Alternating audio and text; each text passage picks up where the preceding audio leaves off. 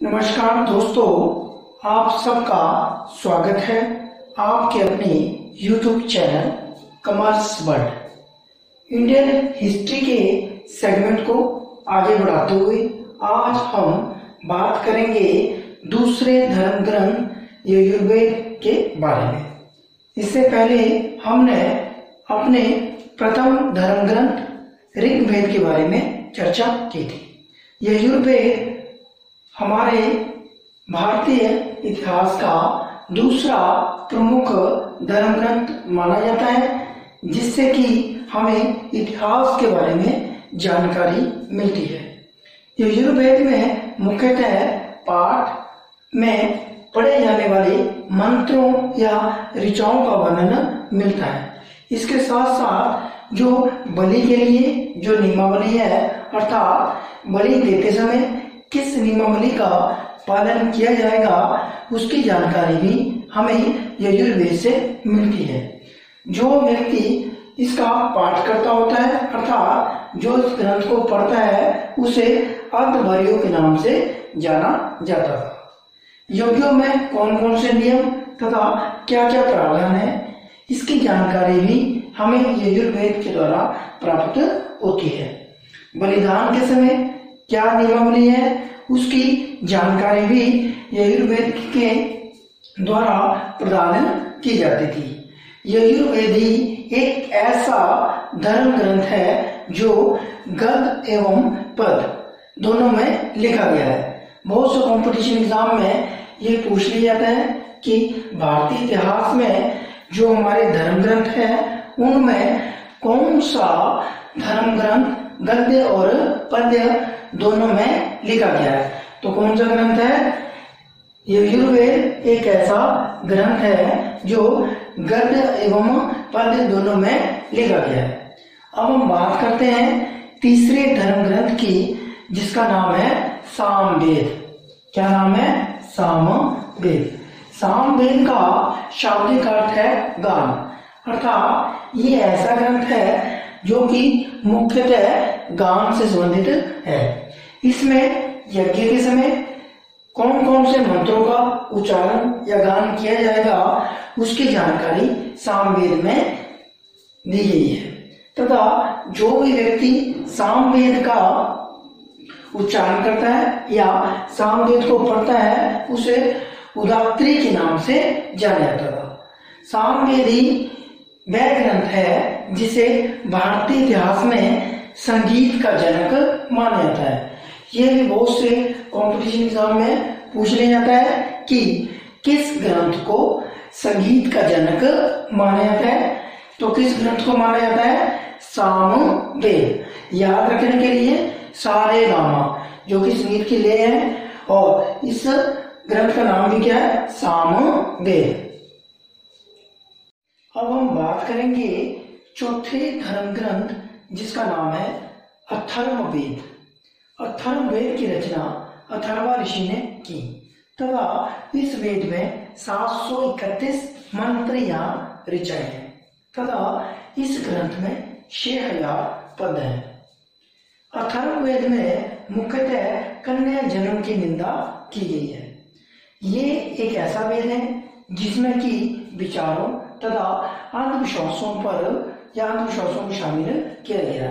अर्थात अंधविश्वासों के ऊपर विश्वास करने का आधार अथर्ववेद बताता है।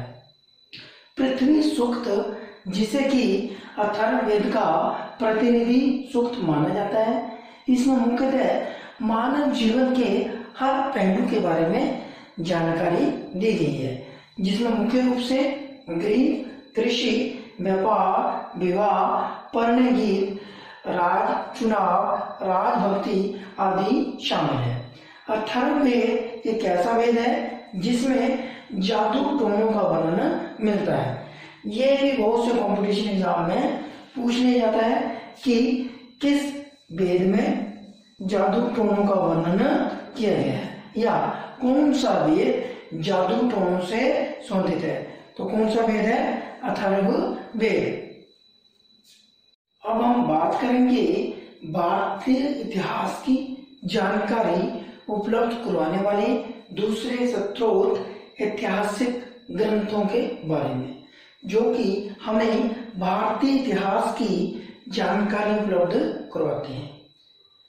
सभी धर्म ग्रंथों को अच्छे ढंग से समझने के लिए छह वेदांगों की रचना की गई है।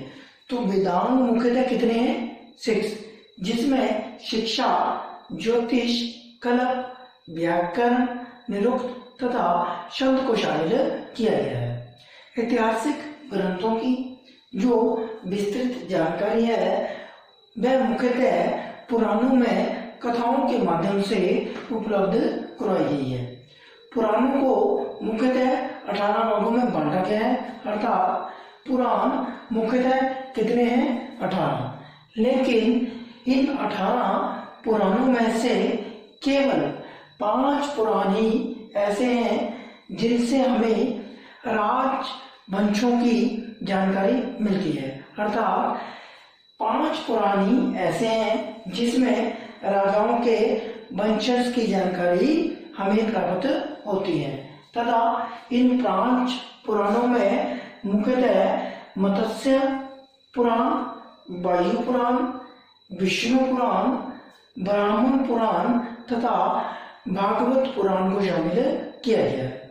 अब बात करते हैं ऐतिहासिक उन ग्रंथों के बारे में, जिनसे कि हमें अलग अलग इतिहास के बारे में जानकारी मिलती है। जो जितने भी हमारे ऐतिहासिक ग्रंथ हैं वह मुख्यतः सरल संस्कृत भाषा में लिखे गए हैं। इन ग्रंथों को स्त्रियों और शूद्रों को पढ़ने की मनाई थी। अर्थात स्त्रियाँ और शूद्र इन ग्रंथों को नहीं पढ़ पढ़ सकते थे। इन ग्रंथों का जो उच्चारण है या पाठ है, वो मंदिरों में पंडितों के द्वारा किया जाता था।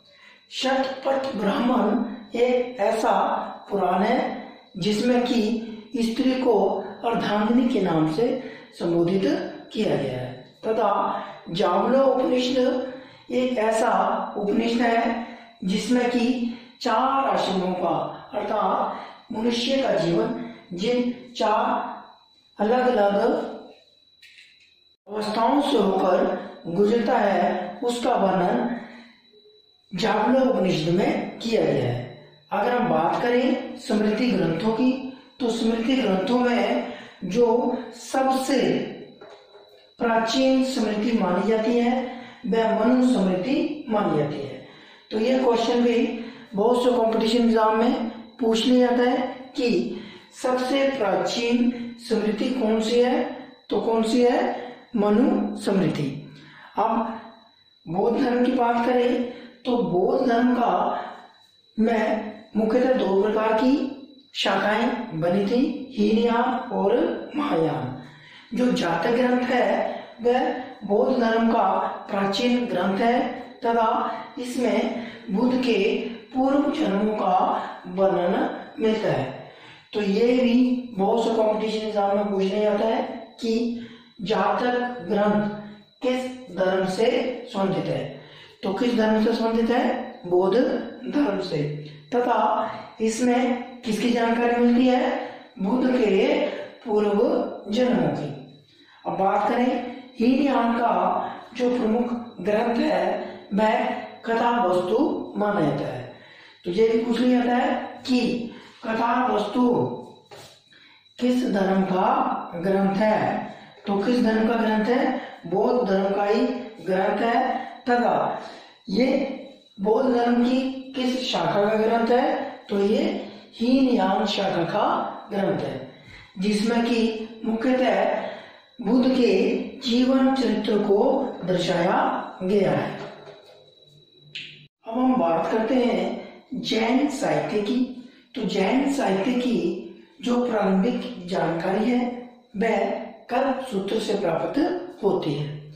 भगवती सूत्र जैन धर्म का प्रमुख ग्रंथ है, जिसमें कि महावीर के कृत्य तथा उन, उनके समकालिकों के साथ उनके संबंध कैसे थे की जानकारी हमें प्राप्त होती है।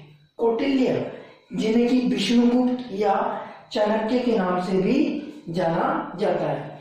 ये भी बहुत से कॉम्पिटिशन एग्ज़ाम में पूछ लिया जाता है कि चाणक्य को और किस किस नाम से जाना जाता था। तो किस किस नाम से जाना जाता है? कौटिल्य, विष्णुगुप्त और चाणक्य। एक ही व्यक्ति के नाम है।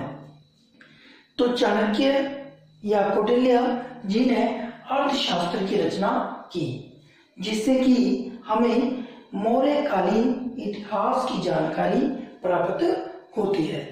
ये ग्रंथ मुख्यतः पंद्रह अधिकरणों तथा 180 प्रकरणों में बांटा गया है। संस्कृत में किसी काव्य को लिखने का जो प्रथम प्रयास है, वो कलन ने किया। किसने किया? कलन ने। तथा उन्होंने राजतरंगनी नामक ग्रंथ की रचना की, जिसमें कि मुख्यतः आठ तरंग है। तो ये भी पूछ लिया जाता है कि राज तरंगनी की रचना किसने की, तथा इससे हमें किसकी जानकारी प्राप्त होती है? तो राजतरंगनी की रचना कलन की तथा इससे हमें कश्मीर के इतिहास की जानकारी प्राप्त होती है। और इसमें मुख्यतः आठ तरंग है। अब बात करते हैं चर्चनामा की। तो चर्चनामा के लेखक अली अहमद है, जिससे कि, जिसमें कि हमें अरबों की सिंध पर विजय की जानकारी प्राप्त होती है। अष्टाध्यायी, जो कि संस्कृत भाषा का पहला व्याकरण का ग्रंथ माना जाता है। उसकी रचना पाणिनि ने की। तो ये भी क्वेश्चन बहुत से कॉम्पिटिशन एग्ज़ाम में पूछ लिया जाता है कि संस्कृत भाषा का, संस्कृत भाषा के व्याकरण का प्रथम ग्रंथ कौन सा था? तो कौन सा था? अष्टाध्यायी, जिसकी रचना पाणिनि ने की। महाभाष्य ग्रंथ से हमें चुंगों के इतिहास के बारे में जानकारी प्राप्त होती है। तो आज हमने इतिहास की जानकारी उपलब्ध करवाने वाले दो सत्रों धर्म ग्रंथ तथा ऐतिहासिक ग्रंथों के बारे में जाना। अगर आपको हमारी ये जानकारी अच्छी लगी तो इसे लाइक और शेयर करें तथा हमारे चैनल को सब्सक्राइब करें। धन्यवाद।